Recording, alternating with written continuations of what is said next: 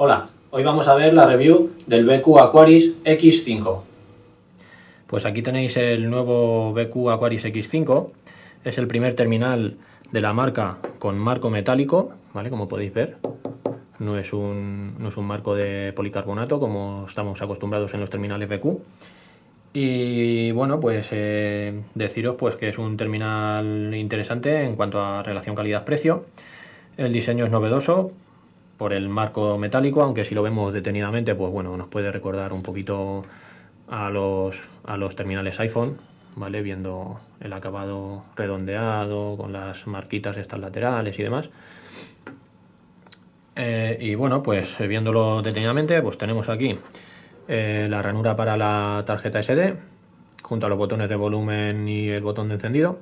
En el otro lado tenemos una sola ranura para las tarjetas SIM, aunque sea dual SIM. En la misma ranura podremos poner, si se ve ahí, dos tarjetas nano SIM juntas. Y eh, luego en la parte de abajo tenemos el conector micro USB junto al micrófono y los altavoces. Y en la parte superior lo que es la salida de, de audio.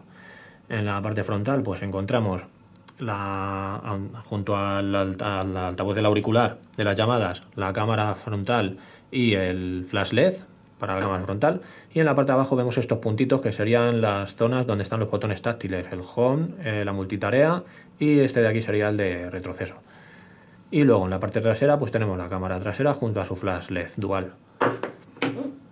Eh, contaros que el terminal pues cuenta con una pantalla HD eh, de 5 pulgadas con resolución 720 x 1280 y una densidad de 294 píxeles por pulgada, que puede no parecer mucho, pero bueno, recordemos que esta pantalla lleva tecnología Quantum Color Plus que nos da una nitidez y un brillo más, más intenso en la pantalla.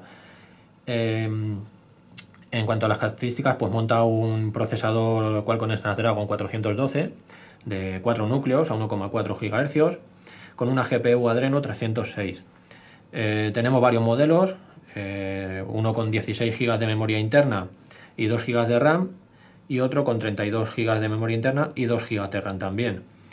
Eh, la memoria RAM siempre la podemos ampliar con tarjeta microSD de hasta 32 GB.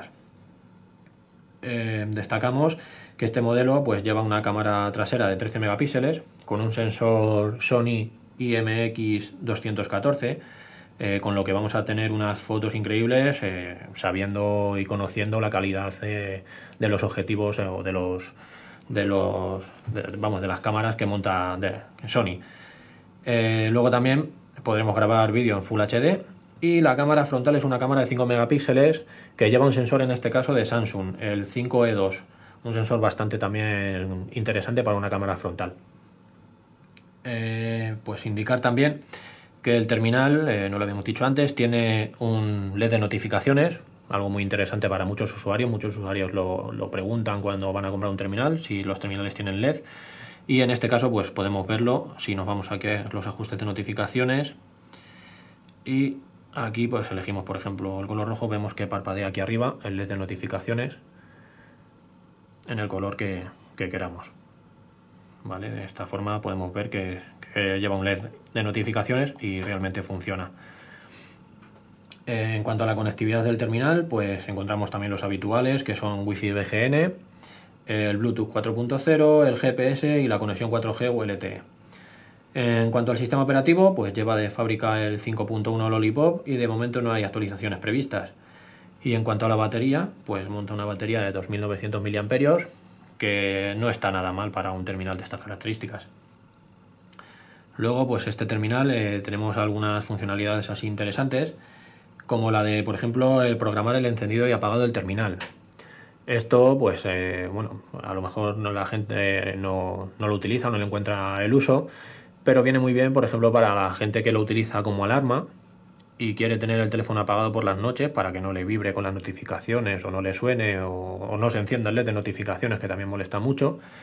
Y entonces simplemente tendríamos que venir aquí a los ajustes, a la opción esta de programar encendido y apagado. Y aquí podemos poner la hora a la que queremos que se apague nuestro terminal. Por ejemplo, las 11 de la noche está puesto ahora, o las 12 o la 1 cuando nos vayamos a ir a la cama. Y por ejemplo ponemos que se encienda a las 7 de la mañana. El teléfono por sí solo, cuando lleguen las 11 de la noche, se apagaría, se encendería de nuevo a las 7 de la mañana y si nosotros tenemos programada una alarma a las 7 y media, pues no sonaría la alarma y no nos molestaría el terminal por la noche. Luego otra funcionalidad pues es la aplicación de Dolby, que es el ecualizador de audio que llevan los terminales BQ para mejorar la calidad del sonido, que es un ecualizador como otro cualquiera, tiene sus modos de sonido, donde simplemente podríamos elegir uno de ellos que ya viene configurado, predefinido, o bien podemos eh, configurarlo de forma manual. Por ejemplo, entramos en este y podríamos moverlo de arriba abajo, modificando nosotros el ecualizador a nuestro gusto. Podríamos activarlo, desactivarlo y con esto pues eh, los más entendidos en cuanto a audio podrían conseguir una mejor calidad de audio del dispositivo. Y por último, pues eh, podemos destacar también la configuración rápida de, los accesos rápidos de, la barra de notificaciones. Vamos a ver, aquí lo tenemos. Eh, estos accesos rápidos eh, de los ajustes, pues linterna ubicación, enviar pantalla modo avión, podríamos, podríamos modificarlo simplemente con usar este lápiz. Y aquí nos salen los que tenemos disponibles y los que podemos elegir. Aquí tenemos, pues, por ejemplo, para encender o apagar el LED de notificaciones, la zona wifi, el brillo, bloqueo del teléfono y simplemente con arrastrar de arriba abajo podemos añadir o quitar los accesos directos que queramos. Por ejemplo, el quitar el giro automático podemos quitarlo y podemos poner el LED de notificaciones. De esta forma, cuando bajemos la barra de notificaciones, tenemos en vez de tener el giro automático, tendríamos el LED de notificaciones o los que queramos añadir.